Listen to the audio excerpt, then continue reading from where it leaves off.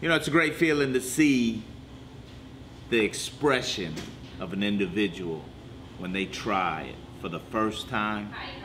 That's quite something.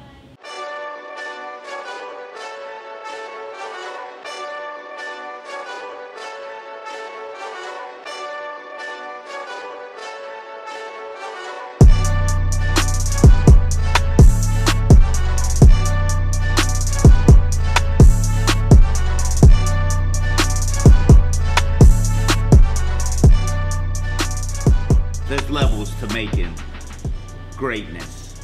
And there's steps and people just don't realize it you know? They figure you're just gonna throw some ingredients put roll it up in a wonton deep fry and it's gonna come out. No. It's much more than that. There's a science behind it.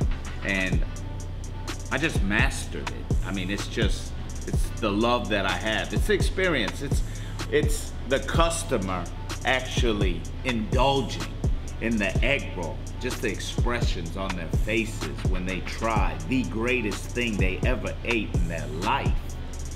And it's coming out of a cylinder of just flavors and just greatness.